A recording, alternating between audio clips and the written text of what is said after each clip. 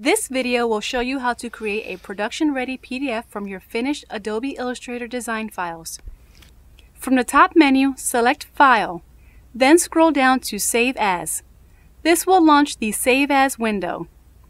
Within the Save As window, select Adobe PDF as your format. Enter or review your file name and location, then click the Save button. This will launch the Save Adobe PDF window. From the Save Adobe PDF window, select PDF X4 2008 as your Adobe PDF preset, then click the Save PDF button. If this is your first time saving a PDF X from Illustrator, a window will pop up letting you know that saving as PDF X may disable some editing features. Assuming that you have already saved your design file in its native and editable format you can click OK. If you have not yet saved your native file in its native format, we recommend that you do so before saving as PDF.